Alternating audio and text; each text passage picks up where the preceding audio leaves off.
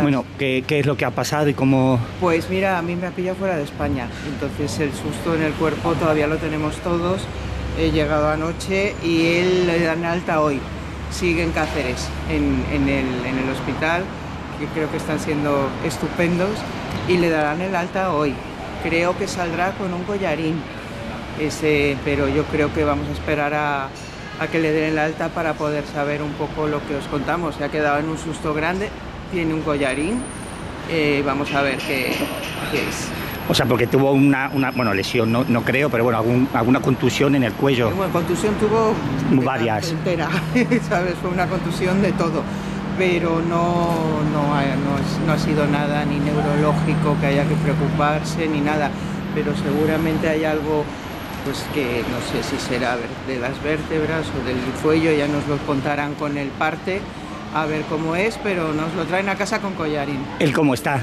Él está animado, eh, no ha perdido el humor, eh, está preocupado porque come mucho desde que está metido en el hospital y que le están tratando muy bien, es uh, todo lo que hay. Fue una caída muy de lo más tonta posible, pero en un escenario pequeño. Es, es, son esas cosas y es que estamos expuestos a lo que sea todos, ¿eh? ahora mismo tropezamos tú y yo aquí y nos da algo, pero que tranquilidad ahora tenemos, el mal día de ayer de del susto. De estar viniendo de fuera de España para llegar y todo, y, y, ellos, por suerte, está con su hermana, está con su grupo, entonces no, no está solo, que es lo que más me podía preocupar a mí. ¿Llegó a perder el conocimiento en algún sí, momento? Sí, ¿Ah, sí?